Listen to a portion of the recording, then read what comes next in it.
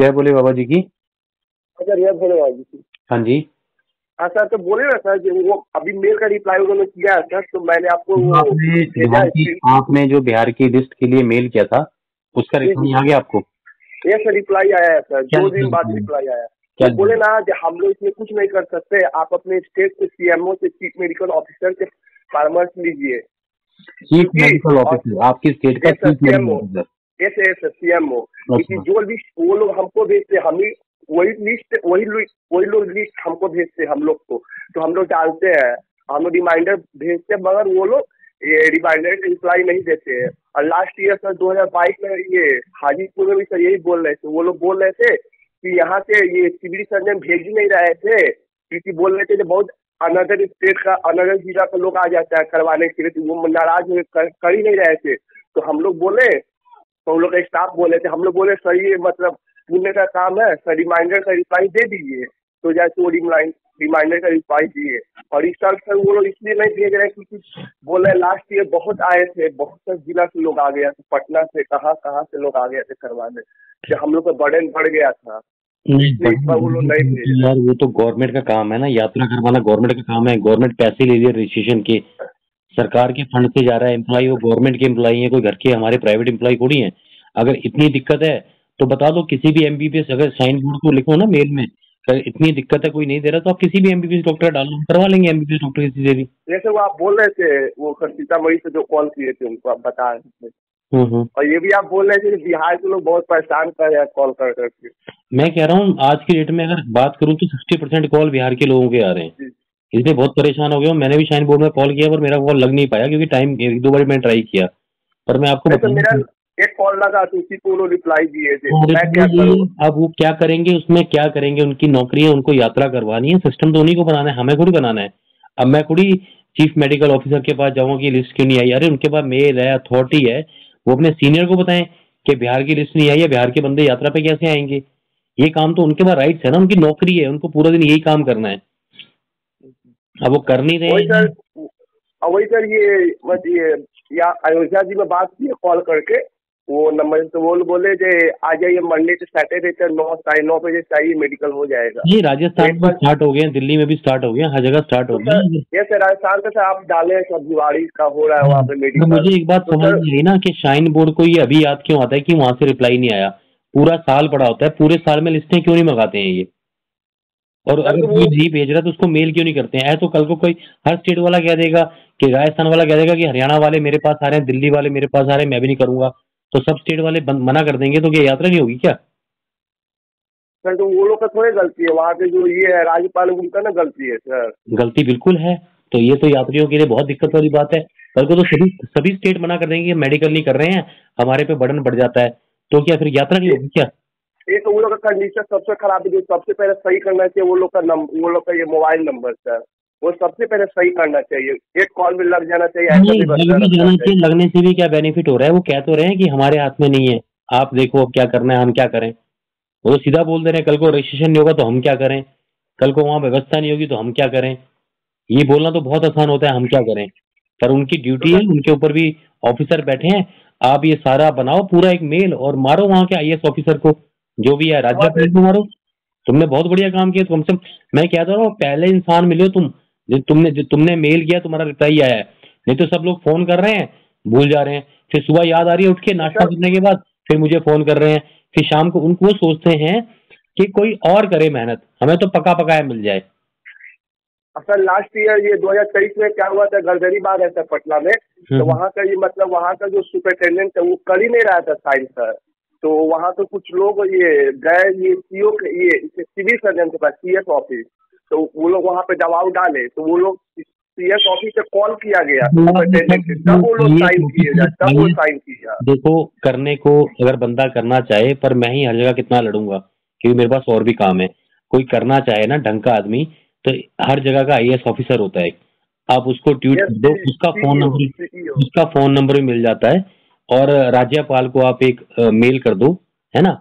वो भी होता है। आजकल तो मोदी जी ने हेल्पलाइन नंबर बना दिए अपनी शिकायत करने के लिए। आप आरटीआई डाल दो। लेकिन क्या होगा एक बंदे दो बंदे करने से बाद सौ लोग आरटीआई डालो बिहार के मिलके। दिल्ली वाले डालो हरियाणा वाले डालो जहाँ जहाँ सर ये ये ये तो सर आप ही ना कर सकते क्योंकि आपके ग्रुप में सर इतने आदमी छह हज़ार प्लस लोग आप अगर रिक्वेस्ट मेरे जो 6000 प्लस लोग हैं वो सिर्फ़ मुझसे बेनिफिट लेने के लिए जो यात्रा में मुझसे जुड़ते हैं। वो मुझसे यात्रा में जुड़ते हैं। अरे सुन तो लीजिए। वो यात्रा में मुझसे जुड़ते हैं अपनी जानकारी लेते हैं अपनी यात्रा करते हैं उसका मुझे भूल जाते हैं। फिर अगले साल फिर यात्रा फिर अगले साल फिर यात्रा आती है फिर मुझे कॉल करते हैं फिर जानकारी लेते हैं अपनी यात्रा करते हैं भूल जाते हैं। मेरे पास मेरी बात तो सुन लीजिए आप। मेरे पास जो अपने बिल्कुल पक्के लोग हैं वो चालीस पचास ही हैं जो हमारी संस्था के लोग हैं जो मेरे साथ कहीं भी चल सकते हैं। पर मैं भी तो इतना पागल नहीं हूँ पचास लोगों को लेकर कहीं भी बैठ जाऊँगा। जब मुझे पता है कि मेरे पीछे कोई नहीं। तो मैं क्यों एफर्ट करूँ? तो हम भी राजस्थान से जाके करवा रहे हैं। पर सर, हाँ हर आदमी पर हर आदमी अपनी अपनी ज़िम्मेदारी लेगा ना। हर आदमी अपनी अपनी ज़िम्मेदारी लेगा कि मुझे ये करना है ये मेरा कर्तव्य है और पढ़े लिखे लोग हैं। चलो जो नहीं पढ़े लिखे हैं तो बात अलग है। जो पढ़े लिखे लोग हैं वो राज्यपाल को अपने आईएएस ऑफिसर को डालें वहाँ से। तो कब पिछली पिछली से पिछली गोवा के वकील है उन्होंने डाला था। कंप्लेन। कि हेलीकॉप्टर का टिकट ऑनलाइन बुक नहीं होता है डीलर लोग कर लेते हैं। तो उससे इतना अच्छा काउंटर मेजर हुआ सबके टिकट बुक हुए। तो सेवा वाली बात है कोई करना चाहे तो करे बाकी भगवान के जैसे मेरा तो काम है कि यात्रा कैसे करनी है क्या लेके जाना है क्या करना है। अगर मैं इन चीज़ों में फंस गया तो मैं फ़ोन ही उठा पाऊँगा किसी का। मैं आर आरटीआई लगाऊँगा वो- क्या करूँगा? सर वो पूछा कि अयोध्या जी अयोध्या जाएँगे सर मेडिकल करवाने सर तो आप उन्होंने ऐसा नहीं बोलेंगे कि आप दूसरे स्टेट से आए आपका नहीं होगा सर। वो कर देंगे ना। उनको भगवान ने मुँह दिया वो कुछ भी बोल सकते हैं आपको। और आपको दिमाग दिया है कि उसका जवाब कैसे देना है? तो वो तो है ही सर बस जवाब देंगे क्या सर? हैं?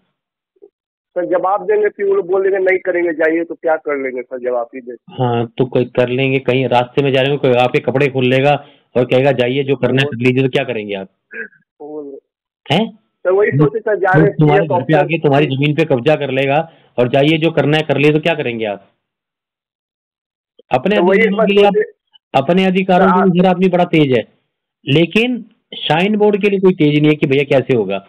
भगवान ने जवाब दिया बताओ भैया कहाँ लिखा हुआ है? वो भी तो आदमी है वो भी भगवान थोड़ी है। आप पूछो उससे कंप्लेन करो पुलिस को बुलाओ करो बवाल। जब बवाल होगा हमने तो बहुत बवाल किया ना हमें मालूम है। हमने तो बैंक मैनेजर के रूम में घुस गए सारे के सारे। करना पड़ा वीडियो बना लिया। आजकल तो मल्टीमीडिया इतना तेज है। मिनट में वीडियो वायरल करो। दो मिनट में वीडियो वायरल होती है। पर करे कौन? आज़ादी सबको चाहिए पर भगत सिंह मेरा बेटा नहीं बनेगा। ठीक है? वो तो है। हाँ। तो वही सोचे जा रहे सीएस सीएस ऑफ़िस में थोड़ा मिल लेते रिक्वेस्ट करते थोड़ा भेज दे। हम्म। वही जा रहे मोदी request इसमें करते तो फिर बड़ी शर्म की बात है।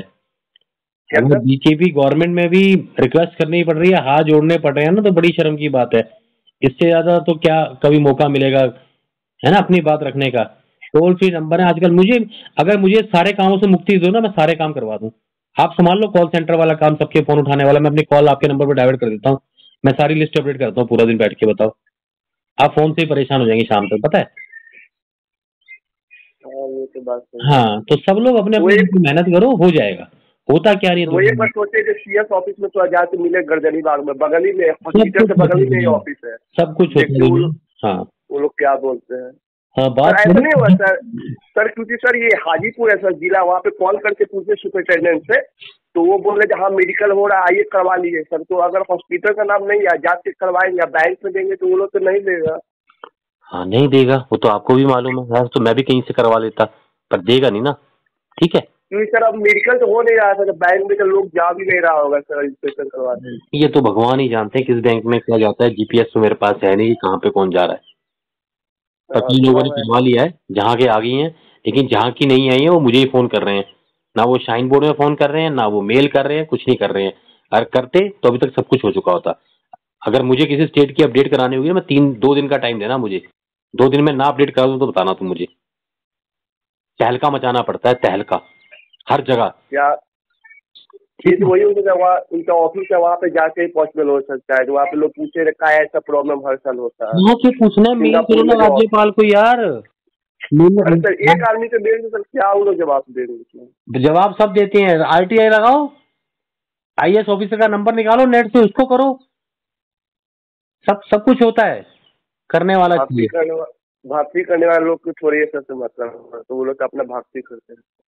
अच्छा भक्ति करने वालों को भगवान ने मना किया सब करने के लिए? नहीं वो लोग मत ऐसे लड़ाई झगड़ा से थोड़े वो लोग को मतलब होता है लड़ाई झगड़ा करे दंगा करे ये सब हल्ला मैंने बोला आपको दंगा करो आग लगाओ मैंने बोला आपको। मैं नहीं नहीं आपको मतलब सर मैं आपको मेल करने को बोल रहा हूँ मेल करना मतलब दंगा करना होता है। वो नहीं सर मुझे बहुत लोग ऐसा बोलते हैं बहुत लोग सुने सर ऐसा बोलते हुए। वो तो आप पता नहीं कितना तो। सुनते हो दिन में यूट्यूब पे या दुनियादारी में क्या सुनते हो उससे मुझे मतलब नहीं। पर मेल करना कोई दंगा करना नहीं है आई एस ऑफिसर को कॉल करना कोई दंगा करना नहीं है। मेरे यहाँ पीछे मेरे यहाँ पीछे फॉरेस्ट मेरे यहाँ पीछे फॉरेस्ट स्टैंड था उसमें आग लग गई। और आग वो बुझ नहीं थी काफ़ी जीव जंतु जल रहे थे। मैंने आईएस ऑफिसर को रात को ग्यारह बजे कॉल किया। और रात को ग्यारह बजे कॉल करने के बाद आप ये मानो बारह चालीस पे पूरे जंगल की आग बुझा दी गई थी। ठीक है? नहीं सर एक बार कॉल किए थे सर वो वो बोले जो आप ऑफ़िस में कॉल करिए उनका जो नंबर है तो साइन बताइए ना कि ऑफ़िस में कॉल किया सर उन्होंने ये रिप्लाई किया कि हम क्या करें? तो सर कौन करेगा इसको? मेरे पास तो अथॉरिटी नहीं है ना। अगर मेरे पास अथॉरिटी होती तो मैं करता। सर यही बात बोले सर जो वो बोले कि जो ये वेबसाइट पे नंबर दिया उससे आप कॉल करिए। तो सर बोले कि उस पर कॉल नहीं लगता है तो कॉल काट दिए सर। हाँ, क्या करे करें सर? रिकॉर्डिंग करो उनकी डालते हैं यूट्यूब पे हम भेजो मुझे।